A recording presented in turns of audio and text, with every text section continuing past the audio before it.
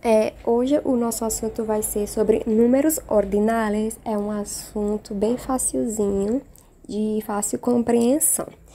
Então, o que são números ordinais? São números que transmitem e têm a função e têm um significado de posição, ou seja, colocação, tá? Ou seja, é a posição onde você está em determinado, em determinado lugar. Por exemplo, para começar, estou em quinto lugar no concurso. Quando eu falo estou no quinto andar ou no, no quinto lugar no concurso, é porque a minha posição naquele, naquele, naquele concurso, naquele seletivo, naquele negócio que eu fiz, né? Ou seja, é a minha posição exata, né? A pontuação que eu fiz. Então, se refere isso a isso, né? Então, números ordinais é conhecido como números ordinais, transmite a ideia de posição, não é posse, tá? É posição relacionado ao nível que você está em um determinado lugar, certo? Então, vamos conhecer.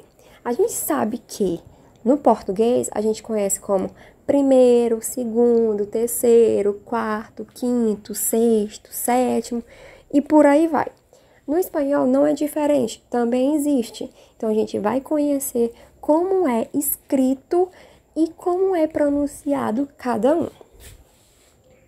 Por exemplo, primeiro, primeiro lugar, eu falo primeiro, ou eu posso também falar primeiro, não é primeiro, porque no português a gente tem o izinho antes do R, né?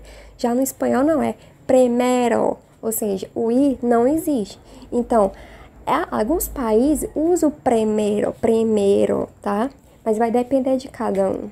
Ou seja, a Argentina, né, que é um país de habla hispânica, que fala o espanhol como, como idioma oficial, ele pode usar primeiro ou primeiro, vai depender dos costumes, da, da entonação das pessoas, né? Porque cada língua tem um jeito que a gente fala.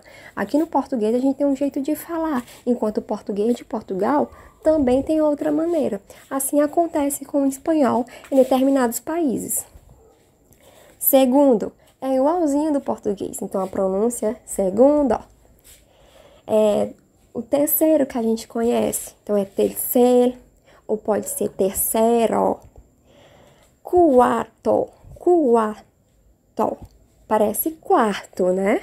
Realmente, se a gente não for é, ter esse entendimento, não conhecer a língua, a gente vai perceber que é quarto, certo? Mas não tem nada a ver.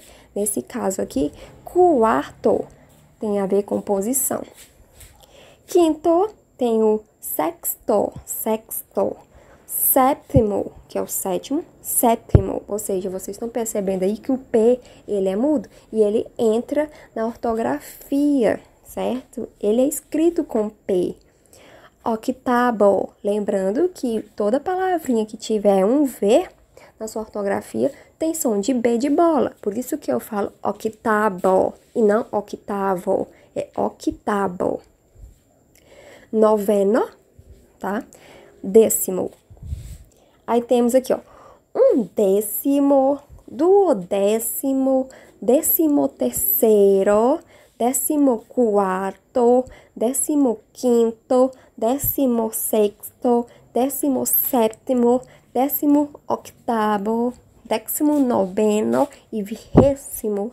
Então a gente percebe que aquela aquele vocabuláriozinho que a gente tem no início do primeiro até o décimo, a gente continua usando, né, a partir do 11, né, décimo primeiro, que seria conhecido na nossa língua, décimo primeiro, aí no espanhol é um décimo, então a gente acrescenta, aí fica duodécimo, esse duo tem a ver, tem sentido e significa dois, décimo é o 10, né? Que a gente pega 10 mais 3. Aí a gente acaba falando que é 13. Então a gente fala décimo terceiro, certo? E assim sucessivamente. Então esse temazinho aqui, ele não é complicado. É só para o aluno conhecer como são é, chamados, como é pronunciado, como é escrito os números ordinais, conhecido como números ordinais. Tá bom? Então, não deixem de fazer a atividadezinha que vai estar tá no roteiro.